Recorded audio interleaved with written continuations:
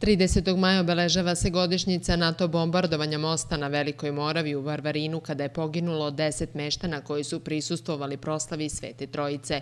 Tog dana u dva vazdušna napada teško je ranjeno i 17 ljudi, a 70 lakše povređeno. Obeležavanje godišnjice otpočelo je bogosluženjem u crkvi Uspenja presvete Bogorodice, nakon čega je sveštenstvo održalo pomen kod spomen obeležja žrtvama NATO bombardovanja. Istorija se ne briše, Istorija se pamti.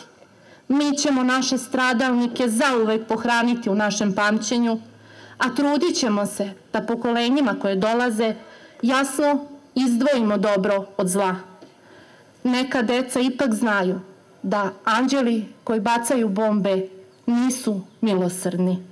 Državni sekretar u Ministarstvu za rad, zapošljavanje, boračka i socijalna pitanja Miodrag Kapor poručio je da se stradali ne smiju zaboraviti, a da se ovakav zločin nikada više ne sme ponoviti.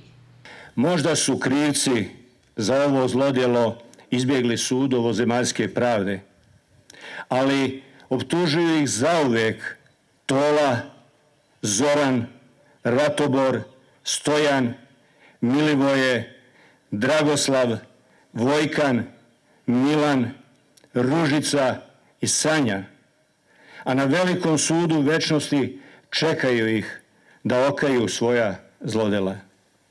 Na nama preživjelima je da ne dozvolimo da ovi ljudi umru kao građani Varvarina i cele Srbije, jer poznato je da tokom rata može lako da se pogine, ali umiru samo oni кое потомци забораве.